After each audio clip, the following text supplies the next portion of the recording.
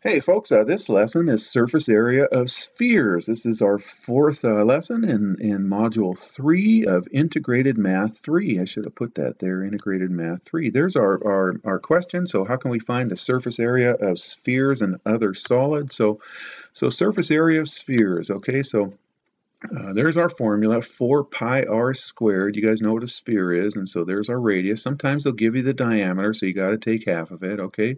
Now, um, you have a handful of these in your assignment today, uh, but we're going to jump right to um, uh, an application problem here. So a basketball is a sphere that has 29.5 inches in circumference, so that's um, uh, the um, and they call it the great circle, the biggest circle that goes around the outside. Okay, so a baseball is a sphere that has circumference of um, 9.0 inches. How much material is needed to make each ball? And then after we do that, it says how does the ratio of these amounts compare to the ratio of the circumferences? So here's the circumferences up here. The ratio of the circumferences are 29.5 to over 9.0. Ratio is code word fraction, okay?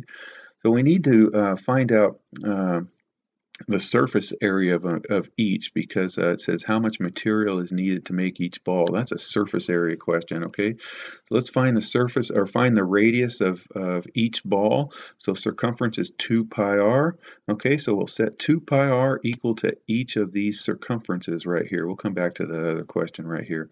Okay, we're solving for r. We need to find the r so we can use our formula. Surface area is 4 pi r squared. And we need this r. So let's divide both sides by 2 pi, and I'm going to do these two problems simultaneously, and then use a calculator. And so we get about uh, 4.695 is the radius of the basketball, and about 1.432. All right, now let's find the surface area of both, okay?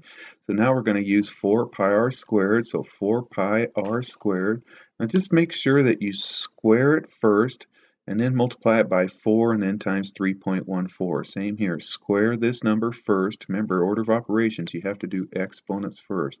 Then times 4, then times uh, 3.14. So there's the approximate um, surface area of the basketball and of the the baseball. Okay, let's answer that second question now. So the second question says, how does the ratio of these amounts uh, the ratio of this amount over this amount, so fraction this number over this number, compared to the ratio of this number over this number. Okay, so let's check that out. So the ratio of the material is going to be that, and then if we get a decimal on that, we, we get that value right there. Let's check out the ratio of uh, the basketball or the baseballs right there. Okay, you see any kind of relationship right here? Can you see that maybe if we square this number, you know, I know 3 squared is, is 9, so a little bit more than 3 squared, which is this number, is going to be a little bit more than 9, which looks close to that. So remember, we rounded way back here. So if we get something pretty close, it's called round-off error. So when we square that, uh, let's go ahead and square um, uh, that the square of the circumferences, uh, let's see, I'm sorry, should be a 3 in there uh, right here. I saw where'd that 2 come from? That should be a 3. I got to fix this before I teach it anyway. So, all right, so um, uh, that 3 right there, 3.277 squared, ends up being about uh, 10.743. Look at the relationship of those. They're really close to each other right there. Can you see how close those numbers are right there? So here's our answer right here. Let me just fix that while we're doing that.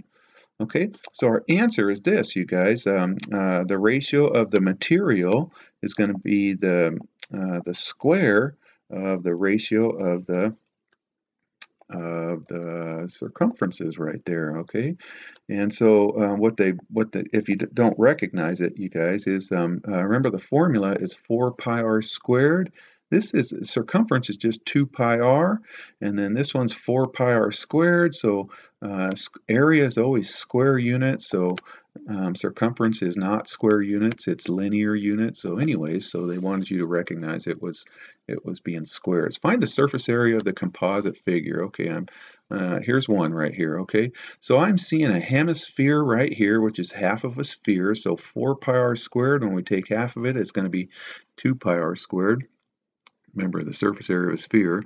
Then we'll add the lateral area of this cylinder and then we'll add this circle right there, okay? So So it's the hemisphere. Hemisphere is half of a sphere plus the lateral area of the cylinder plus the area of the circle right there. Here's the hemisphere. Okay, so we do that and we've got to square 5 first and then multiply it times 4 and then divide by 2. So the hemisphere is 50 pi centimeters squared. All right, so the lateral area, remember, um, the lateral area is circumference times the height okay, from our lesson before. So, so 2 pi r is circumference times the height. So we plug that in and we get 140 pi. And then the area of a circle is pi r squared. So 25 pi. So the total surface area is the sum of those. So 215 uh, pi centimeters squared. Okay, let's try one more here. Which, I'm sorry, which is about 675.4 centimeters squared. Okay, so here I see a half a, a hemisphere on this side, another hemisphere on this side side. So when we put them together, it's a whole sphere, so 4 pi r squared. And then we'll add the lateral area of the cylinder, okay?